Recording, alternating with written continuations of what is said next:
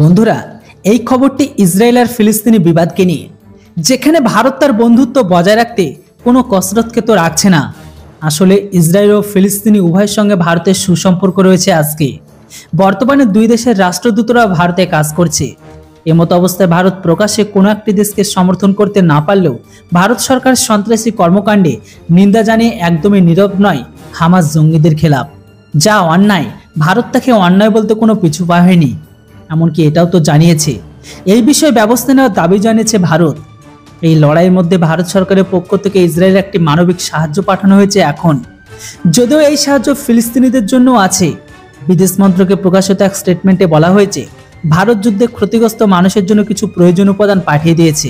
উপাদানের মধ্যে রয়েছে খাবারের প্যাকেট, ইগ্রো ম্যানোমিটার, ইনফিউশন পাম্প, স্প্রিংকলার, এমনকি জীবন রক্ষাকারী ওষুধ।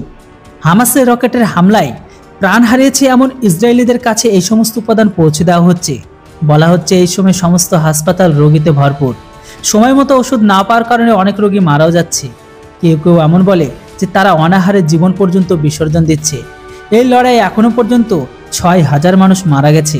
যদিও হামাসের রকেটে হামলা তো থামছে না। স্টেটমেন্ট অনুসারে বা রিপোর্ট অনুসারে ভারত সরকার প্রথম ব্যাচে প্রায় পনেরো হাজার প্যাকেট ইসরায়েলে পাঠিয়ে দিয়েছে। অন্যদিকে মন্ত্রক প্রয়োজনে শহরে আরও মানবিক সহায়তা পাঠানোর ইঙ্গিত পর্যন্ত দিয়ে রেখেছে। তবে কেউ কেউ এখন বলছে যে এই মুহূর্তে ভারতেরও হামাসকেও কিছু সাহায্য পাঠানো উচিত ভারতের তরফ থেকে। কেননা তারা তো ফিলিস্তিনের একটি গুট বা অংশ। এমতো অবস্থায় ভারত যদি ইসরায়েলকে মানবিক সাহায্য দিতে পারে, তাহলে হামাসের জন্য কিছু প্যাকেট কেন ভারত পাঠাবে না? এখানে ভেদভাব করা একদমই ঠিক নয়। তো বন্ধুরা, এখন এই কথাটা কোন গ্রুপ বলছে, সেটা আপনারা ভালোভাবে বুঝতে পারছেন। তাদের নাম নেওয়ার প্রয়োজন নেই আপনার কাছে। আপনিও তো এতটুকু জানেন, কিন্তু এখন এই শ্রেণি এর বাইরে গিয়েও কিছু কথা বলেছে যে ভারত সরকার ইসরায়েলের সাথে কোনো বন্ধুত্বই যেন না রাখে আর না তাকে কোনোদিন সাহায্য দেয়।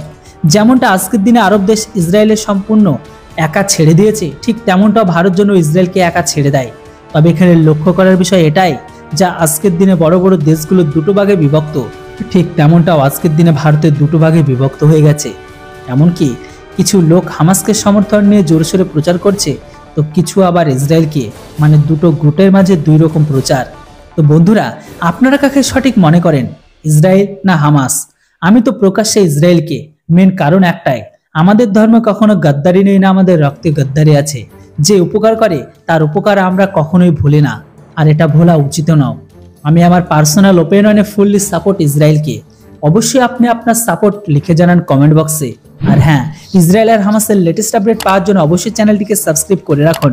থ্যাংকস ফর ওয়াচিং জয় হিন্দ, বন্দে মাতরম।